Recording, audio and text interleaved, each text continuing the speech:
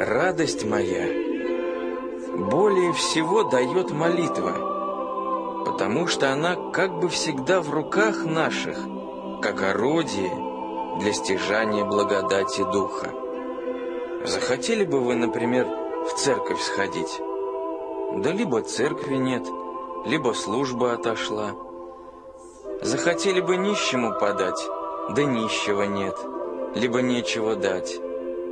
А до молитвы это уже никак не относится. На нее всякому и всегда есть возможность.